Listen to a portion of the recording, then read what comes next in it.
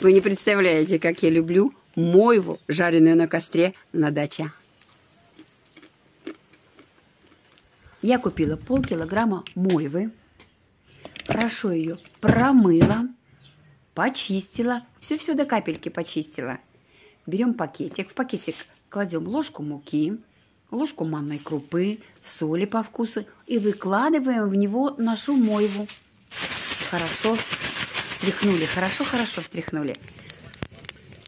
Огонь развели. В сковородочку наливаем растительное масло, выкладываем мойву. Жарим с каждой стороны примерно по 3-4 минутки. Наша рыба готова. Она получается хрустящая, обалденно вкусная. Вы не представляете, какая вкусная. Приятного аппетита. Кушаем.